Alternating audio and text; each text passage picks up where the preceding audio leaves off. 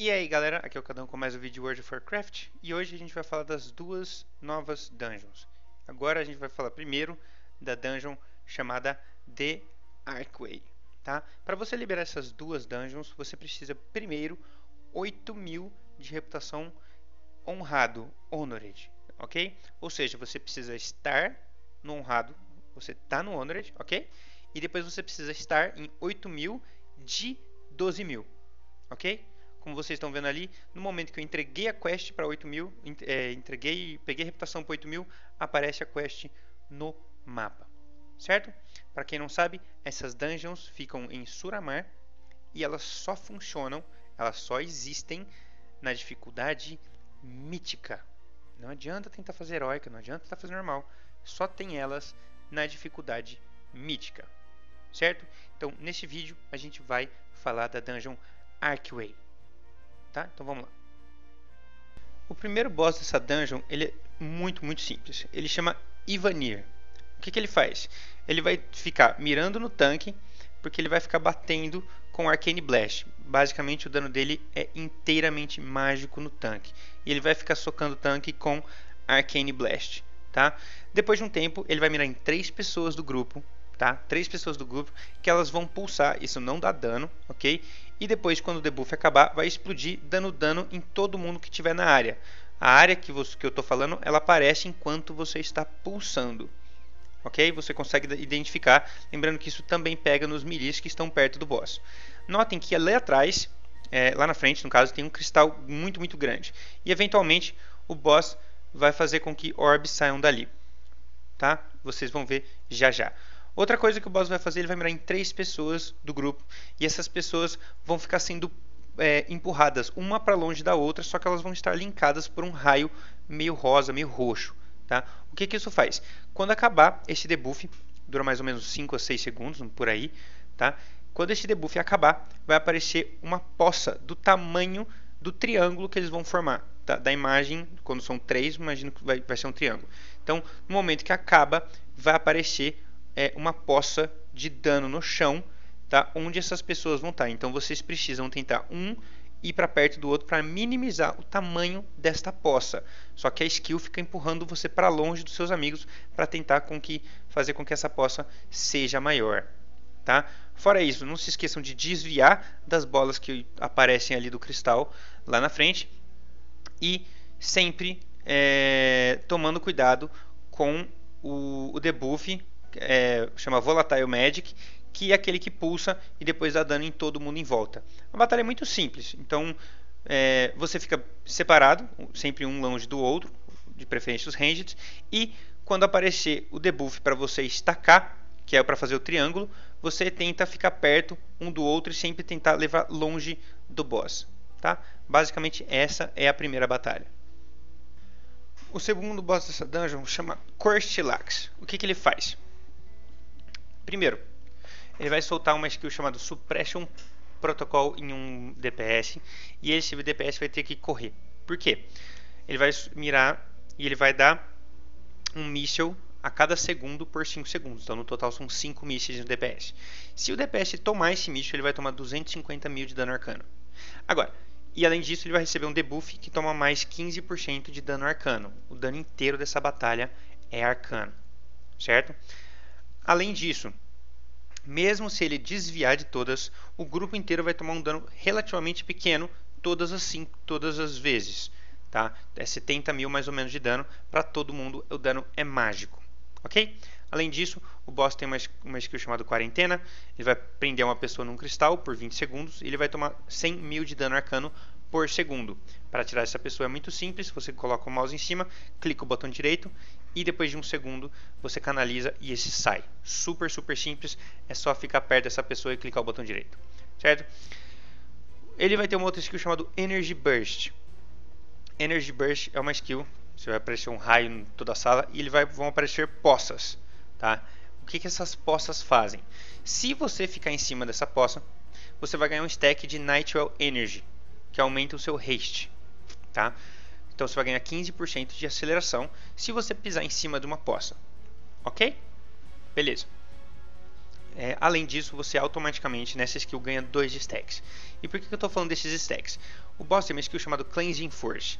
O que, que o Cleansing Force faz? Ele vai puxar todo mundo para perto. Ok? Ele vai puxar todo mundo para perto. E ele vai remover um stack de Nightwell Energy a cada 2 segundos por 8 segundos. Ok? Ou seja, ele remove no total 4 stacks. Tá? No final, quando acabar essa skill, Cleansing Force, ele demora 2 segundos para castar. Todos os jogadores em 15 jardas vão tomar 700 mil de dano arcano. E se você tiver um stack ou mais de Nightmare Energy, ou seja, se tiver 5, ele vai tirar 4, vai sobrar 1. Um. Se você tiver esse 1, um, você vai tomar stun por 12 segundos. Ok? Beleza. Super legal. Outra coisa que o boss faz, ele vai, ele vai ter uma skill chamada Destabilized Orb. É uma orb que fica no chão. Simplesmente você sai de perto porque ele dá 350 mil de dano arcano a cada segundo para todo mundo que estiver perto. Esse boss é super, super simples. Ok? O terceiro boss que eu vou falar é a Nautira, é uma aranha. Tá? O que, que ela faz? A primeira skill dela chama Blink Strikes. Ela vai se teletransportar para um jogador que estiver longe. Ok? Ela vai se teletransportar para trás de um jogador. E ela vai dar uma série de ataques que vão dar dano mágico a cada meio segundo. É muito, muito rápido e vai dar dano em todo mundo que estiver perto deste jogador. Cada ataque dá 280 mil de dano a cada meio segundo por 2,5 segundos. Então é muito importante que na hora que ela se teletransporte para trás do jogador, ele saia o mais rápido possível, ok? Isso é extremamente importante. Outra coisa que ela faz é uma skill chamada Nether Venom. Ela simplesmente joga um veneno em uma pessoa e vai aparecer uma poça embaixo dessa pessoa. Se essa pessoa ficar nesta poça, a poça vai ficar por 5 minutos. Ele vai tomar 100 mil de dano arcano por segundo e vai ter uma redução em aceleração em 500%. Óbvio, sai de cima da poça. Além disso, ela vai ter uma skill que vai puxar dois jogadores para perto dela e, eles vão, e ela vai prender eles numa teia que vai linkar um ao outro. Essa teia vai ficar dando dano 127 mil de dano arcano por segundo até que os dois jogadores fiquem em 30 jardas um do outro. Então, simplesmente, os dois jogadores que estiverem linkados, um corre para um lado e o outro corre para o outro. É só isso. Além disso, nessa batalha vão ter umas arinhas chamadas Vicious Manafangs. E elas vão pular num jogador e vão começar a devorar esse jogador. Quando você é devorado, você não consegue se mover. Você vai tomar roots, você fica no lugar parado e você vai tomar um dano físico por 1 segundo por 20 segundos. E ela só vai parar de te comer quando ela toma 30% do máximo de vida dela em dano. Então não, devo, não tenho que falar que quando aparece o AD, simplesmente mate o AD. Esse boss é muito fácil, vocês não devem ter problema nenhum com ele. Ok? Beleza. O quarto boss que eu vou falar é o General Chacal. Ok? O que, que ele faz? primeira skill dele chama Fell Fisher. Ele vai mirar numa pessoa e vai aparecer uma poça verde no chão. Ok? Se um jogador ficar 3 segundos nela, ele vai, buff, vai aparecer um pilar dando dano neste jogador em todo jogador que estiver em volta desta área. Simplesmente saia da poça. A segunda skill dele chama Shadow Slash. Ele vai mirar num lugar e ele vai me dar uma onda roxa de dano que vai bater, vai dar tipo 500k de dano em todo mundo no caminho e vai deixando uma poça no chão que óbvio não fica em cima desta poça. A terceira, a terceira skill dele chama Wicked Slam. Ele bate no chão e ele dá dano em todo mundo. O dano é físico, tá? 500k de dano físico e todo jogador é empurrado para trás. Essa skill bate em todo mundo, não importa onde você esteja. Não adianta correr vai dar dano em todo mundo. Simplesmente cure, que o dano não é tão grande assim. Além disso, o boss vai summonar uns morceguinhos, chama Dread Fellbat. Ok? O que, que, eles vão fazer? Eles vão bombardear a sala, que você vai ver que fica umas pocinhas roxas, uma, uma mira no, roxa no chão, e você simplesmente não fica em cima para não tomar dano. O dano é 250 mil de dano em todo mundo por 5 jardas daquela localização. Além disso, o... quando o morcego bate numa pessoa, ele bate de perto, ele vai ganhar movimentação e dano em 10% e isso vai estacar pelo resto da batalha. Simplesmente na hora que o morcego aparecer, mata os morcegos. Lembrando que o morcego toma CC, ele toma CEP, ele toma, desculpa, stun, ele toma incapacitete. Então, se por um acaso você não quiser matar o morcego, você quiser dar CC nele e simplesmente matar o boss, você pode sim fazer. Mas se não, mate os morcegos. O boss é só isso. O último boss dessa dungeon chama Advisor Vandros. Esse boss é extremamente divertido, tá? E tomem muito, muito, muito cuidado com ele. Então vamos falar o que ele faz. A, base, a skill base dele chama Accelerating Blast. É um Arcane Blast, tá? Ele vai soltar no tanque, somente no tanque, tá? Só que detalhe, dá pra você interromper. E por que, que você tem que interromper esse skill? Porque toda vez que ele solta, ele aumenta o dano dele em 5% e a aceleração dele por 5%, tá? Esse efeito estaca e ele fica 15 segundos. Então é muito importante que todos os seus DPS e tanques, ou todo mundo que conseguir interromper, interrompa essa skill. Tá? Porque toda vez que você deixa de interromper, ele vai ficar mais forte e cada vez mais rápido e mais difícil de você interromper. Então foque em interromper o Accelerating Blast. Ok? Além disso, o boss vai soltar uma skill chamada Force Bomb. Ele vai colocar duas bombas que vão detonar depois de 5 segundos ok?